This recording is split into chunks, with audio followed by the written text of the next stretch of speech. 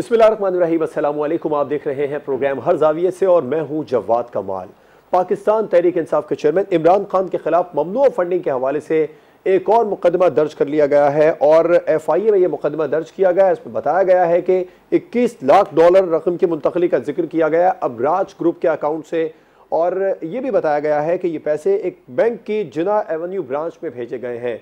क्या तहरीक इंसाफ के चेयरमैन इमरान खान के लिए मुश्किल मजीद पढ़ने वाली हैं। प्रोग्राम में आगे चलकर बात करेंगे। सदर डॉक्टर आरिफ अलवी की जानब से कहा गया कि आर्मी चीफ की तकरूरी वसी मुशावरत से होनी चाहिए, जिसके बाद में वज़ीर कानून आज़म नज़ीर तारड़ ने उसका भरपूर जवाब दिया। उन्होंने कहा कि सदर अपने आइनी जो उनकी हदूद है, उससे तजावज़ न करें। आर्मी चीफ की तकरूरी में उनका कोई किरदार या कोई ज़िक्र नहीं है। क्या वसी मुशावरत की बात डॉक्टर आरिफ अलवी ने जो की है, वो गैर आइनी है? प्रोग्राम के आखिर में बात होगी। वज़ीर ख़जाना इसहाक डार अमरीका रवाना हो गए हैं और वो वहाँ पर आईएमएफ और वर्ल्ड बैंक के इजलास में शिरकत भी करेंगे, बजट के हवाले से और करंट अकाउंट खसारे के अहदाफ में नरमी के हवाले से बात करेंगे। क्या अच्छी खबरें वहाँ से आएँगी? इस पर प्रोग्राम में बात होगी। अपने मेहमानों का आपसे तारुफ करवाऊँगा। हमें ज्वाइन किया है सीनियर तजियाकार शहजाद चौधरी साहब ने, सीनियर तजियाकार सज्जाद मीर साहब, सीनियर तजियाकार मोइस जाफरी साहब और सीनियर तजियाकार वहीद हुसैन साहब प्रोग्राम में हमारे साथ मौजूद हैं। तमाम मेहमानों का बहुत शुक्रिया। शहजाद चौधरी साहब इमरान खान के खिलाफ एक और मुकदमा एफ़ आई ए में दर्ज हो गया। मुश्किल बढ़ती देख रहे हैं जी बिल्ली चूहे का खेल है। देखिए ये मुकदमात तो होते रहेंगे पता नहीं इस वक्त कितने मुकदमात हैं उनके खिलाफ। लेकिन इसके ऊपर एक सुप्रीम कोर्ट की या इस्लामाबाद हाई कोर्ट की one of the superior courts की एक गाइडेंस है। एक उन, उन्होंने गाइड किया है कि और इलेक्शन कमीशन को कि आप इनके खिलाफ जो आपका फैसला है वो एक तरफा या एक सिर्फ़ पार्टी को देखते हुए मत करें। आप कोशिश करें कि इंसाफ के साथ तमाम पार्टियों का एक स्क्रूटनी की जाए और उसके बाद जो आपके ऑब्जर्वेशन बनेगी या जो फैसला बनेगा वो कीजिएगा ताकि इंसाफ का जो तकाजा है उसको पूरा किया जा सके। तो मेरा ख्याल है कि ये एक ऐसी गाइडेंस है जो कि जितने मर्ज़ी मुकदमात आप कर लें, कोई भी अदालत इस फैसले के ख़िलाफ़ या इस गाइडेंस के ख़िलाफ़ नहीं जा पाएगी। तो इसलिए मुकदमात का जो मकसद है वो सिर्फ़ घबराना है उसको डराना है जिस तरीके से वो इनके ऊपर कुछ ना कुछ करते रहते हैं तो ये उनके खिलाफ इस तरह की बात करते रहते हैं। दूसरा अगर वो आए मिसाल के तौर पर इस्लामाबाद की हदूद के अंदर तो एफ़ आई ए ने मुकदमा दर्ज कर लिया और एफ़ आई ए हकदार हक बजानब होगा कि वो जाके उनको गिरफ़्तार कर सके तो गिरफ़्तारी का भी डर इसमें मुजमर है। एक चीज़ मैं ज़रूर कहना चाहूँगा अब राज ग्रुप के कॉन्टेक्स में ये बात की जा रही है और उनको 2.1 मिलियन डॉलर्स की बात की जा रही है।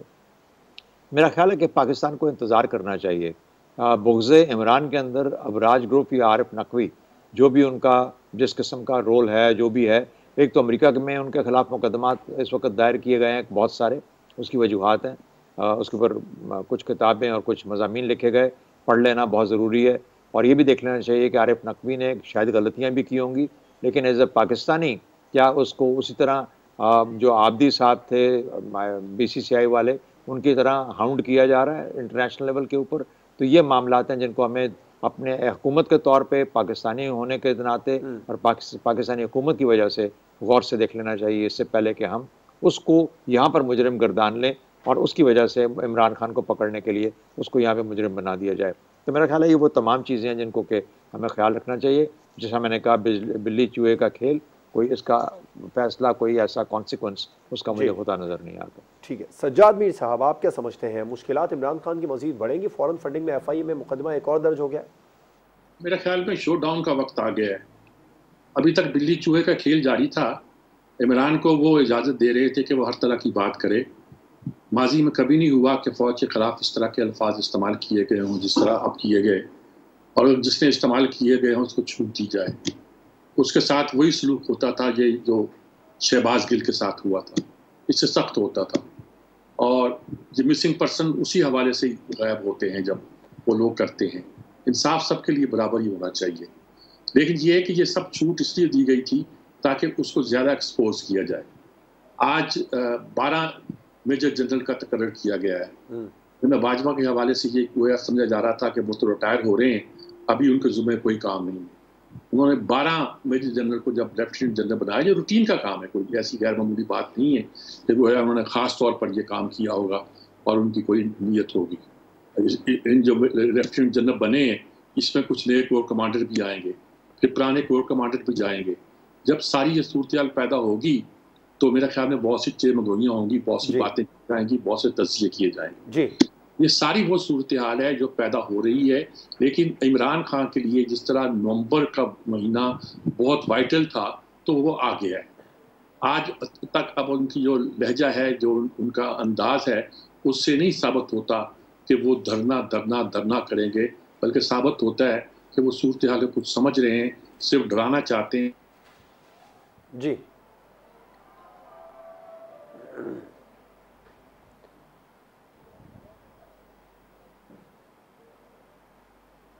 राइट ठीक मोइस जाफरी साहब आपको भी लगता है इमरान खान की मुश्किल मजीद बढ़ने वाली हैं? एक और मुकदमा उनके खिलाफ दर्ज हो गया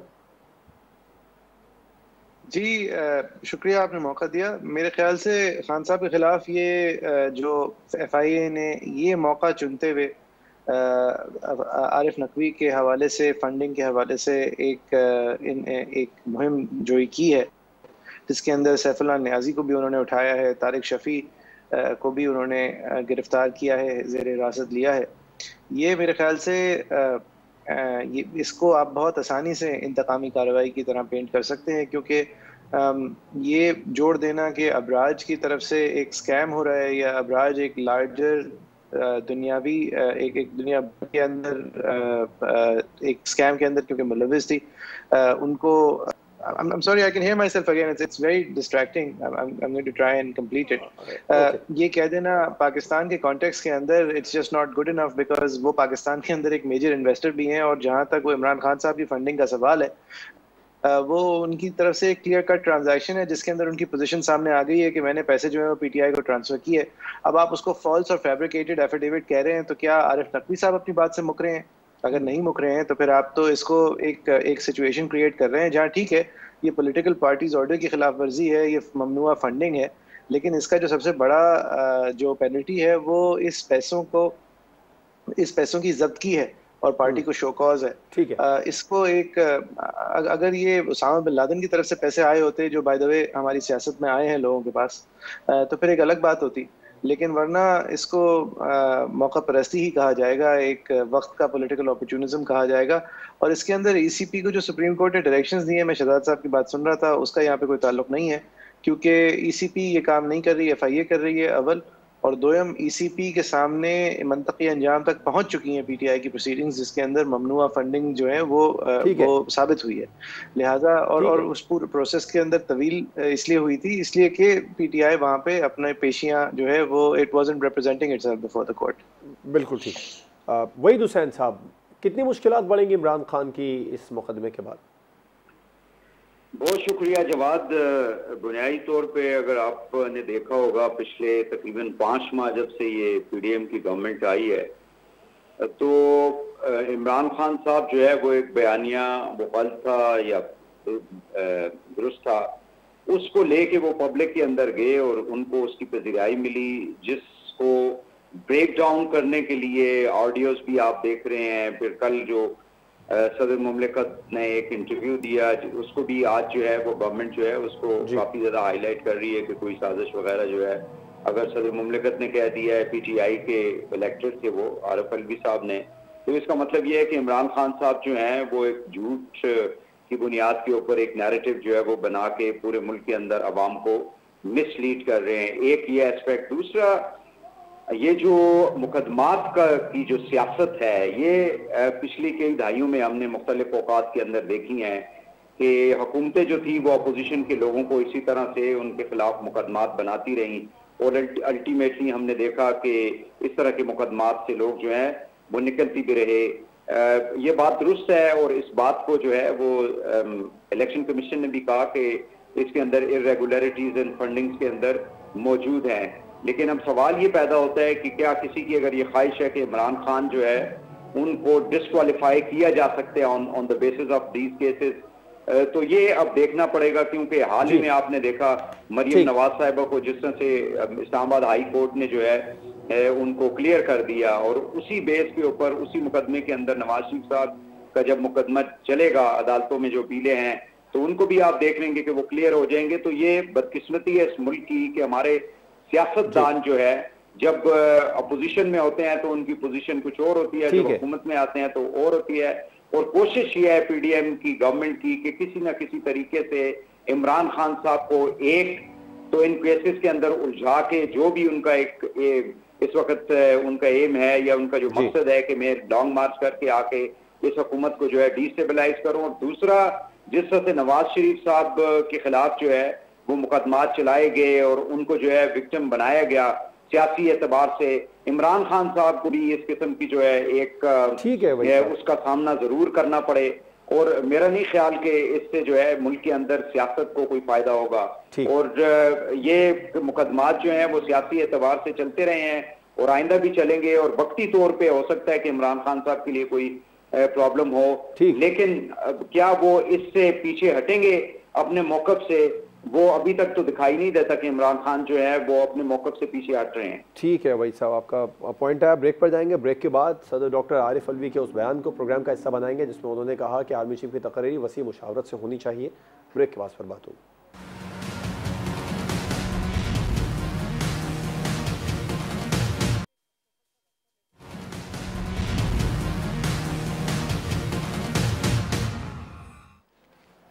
Welcome back doctor Arif Alvi ने बयान दिया है कि आर्मी चीफ के तकरूरी के हवाले से मुशावरत वसी होनी चाहिए ताकि इतफाक़ राय पैदा हो सके। इस पर हुकूमत की जानब से जवाब दिया जा रहा है कि डॉक्टर आरिफ अलवी का कोई किरदार नहीं है आर्मी चीफ के तकरूरी में आइन में। तो वो अपनी आ, अपने किरदार से तजावज़ न करें। सज्जाद मीर साहब आपको क्या लगता है वसी मुशावरत की बात डॉक्टर आरिफ अलवी ने तो की है ये गैर आइनी है? यकीन गैर आइनी है जी। क्या पार्लियामेंट तकर करे? उसी तरह मुशावरत से तो यही हो सकती है आइनी तौर पर, अगर रखा जाए, कि पार्लियामेंट आर्मी चीफ का तकर करे। देखिए, हमारे यहाँ जजों का तकर हो, या चीफ जस्टिस का तकर हो, या आर्मी चीफ का तकर हो, या और बहुत सी तकर्री इसके बारे में बड़े इफ़ एंड बट्स उठते रहे हैं और उठते रहते हैं। लेकिन सदर का इस वक्त ये कहना, असल सदर फंसे हुए हैं। वो शुरू से ही पीटीआई के बहुत डाई हार्ट सपोर्टर थे, पहले गालबन सेक्रेटरी जनरल वही थे, और एक लंबे अरसे तक सेक्रेटरी जनरल भी रहे, और बड़े वो कमिटेड थे, नजरियाती थे। मैं उनको जानता हूँ, ज़ाती तौर पर जानता हूँ, हमने इकट्ठे काम किया, एक लफाजा कई जगहों पे काम पे काम किया है। मुझे मालूम है उनके नज़रियात किस तरह के हैं, मुझे मालूम है उनका जहन कैसा है, उनका मजाज क्या है। ये उनका मजाज नहीं है, ये इस वक्त अपनी पार्टी को ही बचाना चाहते हैं, अपने लीडर को भी कुछ सहारा देना चाहते हैं। और साथ के साथ अपने आप को भी कुछ अलग रखना चाहते हैं। आप, उन्होंने कह दिया कि मैं तो नहीं समझता कि ये जो साइबर वाला मसला था, ये कुछ फ़ौरन साजिश हुई है। फिर किसी ने कह दिया कि वो तो कहते हैं कि साजिश हुई है। तो उन्होंने कहा, मैंने कहा था कि मुझे उसके बारे में तहफात है।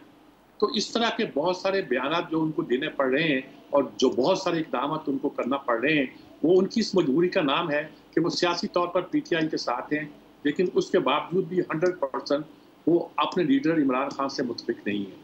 जब वो पार्टी में थे तो इख्तलाफ भी करते थे और इख्तलाफ राय का इजहार भी करते थे और बहुत कुछ करते थे। अभी वो कहते हैं कि इमरान खान ने जब पार्लियामेंट में ना बैठने का फैसला किया तो मैं, मुझसे पूछ लेते तो मैं शायद बेहतर मशवरा देता। तो इस तरह की बातें भी करते वो ये भी कहते रहते हैं कि जब वो सदर थे और वज़ीर अजम थे इमरान खान, कि मैं जहाँ मुनासब होता है उन, उनसे बात करता रहता उनको कन्विंस करता रहता हूँ अपनी बात पर। ये सारी बातें दुरुस्त है। लेकिन इमरान खान इमरान खान है। ये नहीं कि बहुत ज़िद्दी हैं बल्कि ये है कि वो इना के जिस मचान पे बैठे हुए हैं वहाँ शायद शिकार करना भी मुश्किल है। हम्म। इतना फासला है शिकार से शायद उनका निशाना भी वहाँ तक न लग सके। मुइज़ जाफरी साहब डॉक्टर आरिफ अलवी का जो बयान आर्मी चीफ की तकरूरी के हवाले से वसी मुशावरत का है, क्या ये गैर आइनी है? मतलब आइन के अंदर जो तरीका कार दर्ज है उसकी खिलाफ वर्जी है। अव्वल तो इस तरह खिलाफ वर्जी है कि आइन कहता है आर्टिकल दो सौ तैतालीस में कि प्रेसिडेंट अपॉइंट करेंगे on the advice of the prime minister तमाम कमांडर्स फोर्सेस के including the chief of army staff दो, दूसरी बात यह है कि प्रेसिडेंट का रोल जो है वो ये पॉलिटिकल होगा, ये भी एक आइन के स्पिरिट से निकली हुई बात है। तो दोनों सूरत हाल में प्रेसिडेंट साहब जो हैं, वो फुट एंड माउथ का शिकार हो रहे हैं और गैर ज़रूरी तौर पे हो रहे हैं। उनको ना इस वक्त इंटरव्यूज़ देने की ज़रूरत है। चुपचाप उनको बैठना चाहिए ही जो मेजोरिटी गवर्नमेंट है, उसके वो प्रेसिडेंट नहीं है। मॉरल ऑब्लिगेशन उनके ऊपर थी, अप्रैल में ही रिज़ाइन कर जाने की नहीं किया उन्होंने। ठीक है लीगल ऑब्लिगेशन नहीं थी लेकिन इस सब कुछ के बाद वो कहीं इमरान खान साहब की बात को डाइल्यूट करते हुए पकड़े जाते हैं तो फिर उसकी तसी जारी कर रहे होते हैं। एक, एक बिल्कुल ये गैर ज़रूरी सिचुएशन है जिसके अंदर ये इनका जो बात है उसका मतलब आप सिर्फ़ यही निकाल सकते हैं कि इमरान खान से पूछ के आप आर्मी चीफ लगाएँ। हालाँकि जब इमरान खान साहब खुद प्राइम मिनिस्टर थे तो उन्होंने पूछने तो दूर की बात है पार्लियामान की शक्ल देखने की जहमत नहीं की थी। कोई भी बड़ा फैसला करने के बशमूल इसके कि हम्म। उन्होंने बाजवा साहब को जो एक्सटेंड किया था। तो ये बगैर किसी मंतक के ये पीटीआई की पोजीशनिंग है और ये जेब नहीं देती ऑफ़िस ऑफ़ द प्रेसिडेंसी को जिसके अंदर अब ये एक माइनॉरिटी ऑक्यूपेंट है। ठीक है वो हो सकता है कि अगले इलेक्शंस के बाद पीटीआई जो है वो सबसे पॉपुलर और सबसे बड़ी पार्टी बन के सामने आए और उसका हक होगा अगर वो फिर से अलवी साहब को लगा दे। लेकिन अलवी साहब को मतलब एथिक्स वुड डिक्टेट कि अलवी साहब को खुदाफिज कह देना चाहिए था अप्रैल में। राइट आपका पॉइंट आया, मुझे ब्रेक पर जाना है। ब्रेक के बाद वहीद हुसैन साहब और शहजाद चौधरी साहब का भी इस हवाले से मौक़ लेंगे कि सदर डॉक्टर आरिफ अलवी का बयान कि आर्मी चीफ की तकरीरी वसी मुशावरत से होना चाहिए, ये गैर आइनी है, या आइनी ब्रेक के बाद पर बात होगी।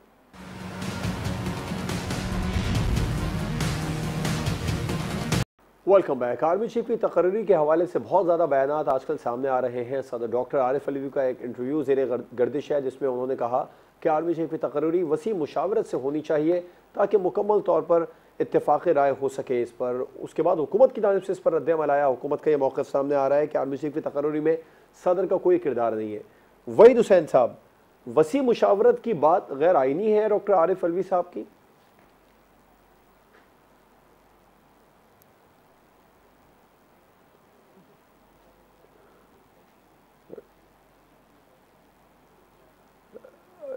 सजाद मीर साहब आप क्या समझते हैं? वज़ीर कानून आज़म नजीर तारा ने यह भी कहा है कि अपोजिशन से मुशावरत नहीं की गई, उनको तकरूरी का इस्तेकाक वज़ीर आज़म का है। मेरा ख्याल ये जो बात मुझे के पहले मुशावरत की गई थी, वो गलत कहते हैं। गालबन उनका जब कहने का मकसद सिर्फ़ ये था कि वो ये कहना चाहते थे कि जब एक्सटेंशन दी गई थी हमारे बाजवा साहब को तो उस वक्त गालबन क्योंकि असेंबली में जाना था तो असेंबली से पूछा गया था। असेंबली से पूछा जाना जो था एक एक, एक फॉर्मेलिटी थी और वो कैसे पूरी हुई है ये सब जानते हैं। सबने वोट दिए कैसे वोट दिए क्यों वोट दिए किसी ने नहीं कहा कि ये गलत है या कुछ है। उसको मुशावरत नहीं कहते। वो उसको मजबूरी कहते हैं भाई। और आरफ अलवी साहब का ये कहना कि वसीता मुशावरत माजी में हुई है तारीखी तौर पर हुई है गलत है। एक असूली तौर पर यह बात है कि ये सिर्फ़ और सिर्फ़ वज़ीर अजम है जिसने तकरर करना होता है। इसमें कोई स्वाबदीदी इख्तियार जो है सदर के भी नहीं और किसी के भी नहीं है। ये दुरुस्त है या गलत ये मैं मुझे नहीं मालूम। मुझे नहीं मालूम कि जिस तरह हम चीफ जस्टिस मुकर करते हैं सीनियरिटी के बेस पर वो भी दुरुस्त है कि नहीं दुरुस्त है? कुछ लोग एतराज़ करते हैं। जिस तरह जजेस का तकर करते हैं वो फटा पड़ा हुआ ना आजकल तो वो उसका क्या तरीका अख्तियार किया जाए? अब कहते हैं जी सेनेट में उसकी हेयरिंग होनी चाहिए फलाना होना चाहिए ओपन हेयरिंग होनी चाहिए फिर जजों का तकर होना चाहिए। पता नहीं हमारे हालात में कौन सी बात सूट करती है, कौन सी बात सूट नहीं करती और कौन सी बात दुरुस्त है, कौन सी बात दुरुस्त नहीं है। लेकिन ये कहना कि ये वसी तर मुशावरत के साथ किया जाए, मैं पहले भी कह चुका हूँ, इसका मतलब तो सिर्फ़ ये हो सकता है कि पार्लियामेंट से पूछ कर तकर किया जाए। ये पॉसिबल नहीं, मुमकिन नहीं है। आर्मी चीफ के तकर के लिए आप पार्लियामेंट पहुँच जाएँ, ये मुमकिन नहीं है। हाँ सेनेट की कमेटी बना दें, फला कर दें तो वो तो हो सकता है लेकिन शायद पाकिस्तान के मौजूदा हालात में आप जिस तरह की चेन ऑफ़ कमान है, उसमें आर्मी चीफ के तकर के लिए इस तरह की शराइ और इस तरह के तरीक़ाकार की हमायत करना या उसकी तरफ़ इशारा करना मुनासिब नहीं है। आर फल बेचारे सिचुएशन के फंसे हुए हैं, वो उससे निकलने के लिए कुछ ना कुछ तरीका बयान करते हैं, क्योंकि इमरान खान कहते हैं कि आर्मी चीफ का तकर किसी को नहीं करने दूँगा उससे पूछ के किया जाए। तो वो उसके पूछे करने को इस तरह मुशावरत की बात कर रहे हैं। और सबसे बड़ा फड्डा यही पड़ा हुआ है। और यही इसी पड्डे को लेकर जो जो लड़ाई है, वो लड़ रहे हैं। और चूँकि लड़ाई इस पर मसले पर है, इसलिए मैं कहता हूँ कि इमरान की लड़ाई हुकूमत से नहीं है अस्टैब्लिशमेंट से है। और इस्टेब्लिशमेंट से लड़ाई जो है, वो भारी पड़ती है, महँगी पड़ती है। इमरान खान के लिए ये आसान रला नहीं है। ठीक। शहजाद चौधरी साहब वसी मुशावरत की बात डॉक्टर आर अलवी साहब की क्या गैर आइनी है? देखिए, मुशावरत और वसी तर मुशावरत में फ़र्क करना चाहिए। मुशावरत तो होती है ऐसे काम में। प्राइम मिनिस्टर साहब जो हैं, वो अपनी आइनी सवाबदीद के हिसाब से जो रेलिवेंट इदारे हैं, जो रेलिवेंट लोग हैं, उनसे बातचीत करते हैं। मिनिस्टर फॉर डिफेंस से बात करते हैं। आर्मी चीफ आउट गोइंग जो होता है, उससे बात करते हैं और अपने इनपुट लेके एक फ़ैसला करते हैं। और उसके बाद वो फैसला भेजा जाता है, जो कि प्रेसिडेंट के पास रवायती तौर पर वो उस पर दस्तखत कर देते हैं। उनका कोई इस्तेकाक नहीं है कि वो उसके बारे में सवाल करें। लास्ट टाइम जब इस किस्म का सवाल उठाया गया तो गुलाम साग खान साहब के ज़माने में उठाया गया। नवाज़ शरीफ साहब प्राइम मिनिस्टर थे। और उनके दोनों के अपने अपने कैंडिडेट्स थे। और दोनों अपने ही कैंडिडेट को आर्मी चीफ बनाना चाहते थे। तो नतीजा क्या हुआ कि इन दोनों का कोई ना बन पाया तो जो तीसरा कोई आदमी था वो बन गया। जो तीसरा आदमी बना वो पाकिस्तान आर्मी का एक रिमार्केबल आर्मी चीफ रहा। इससे साबित क्या हुआ कि आप अपनी चॉइसेस जिस लिहाज से भी करते हैं, वो आपका हिसाब किताब गलत होता है। और ख़ास तौर पे ये आप देख लीजिए कि तीन, चार, पाँच ऊपर वाले जो लोग हैं, उनमें से जिसको भी चुनेंगे, वो एक अच्छा आर्मी चीफ साबित होगा अपने, क्योंकि वो उस पूरी प्रोसेस से गुजर के आया हुआ है, जहाँ पर कि उसके अंदर वो क्वालिफिकेशन होनी चाहिए। एक और जो चीज़ हमें ख्याल रखना चाहिए कि ये किसी बैंक का प्रेसिडेंट नहीं चुनना, कोई और हमने किसी और चीज़ की अपॉइंटमेंट नहीं करनी है, ये इलेक्शन कमीशन नहीं है। ये वो लोग हैं जिनके कहने पे पाँच लाख लोगों ने अपनी जान की कुर्बानी देनी है। उस आदमी को ये पता होना चाहिए कि जब मैंने फ़ौज लड़ानी है तो मैंने फ़ौज लड़ाने, कैसे लड़ानी है? फ़ौज को मैंने लड़ाई के लिए तैयार करना है तो कैसे तैयार करना है? इस फ़ौज को जब मैनेज करना है तो मैंने कैसे वो पॉलिटिकल प्रोसेस का हिस्सा बनने के लिए चीफ नहीं बनता कि कौन सा आदमी इनमें से अच्छा पॉलिटिकली साबित होगा। वो बनता है आर्मी की तैयारी और आर्मी की ऑपरेशनल रेडीनेस के लिए पाकिस्तान के दिफा के लिए। हम्म। ये उसका मकसद है।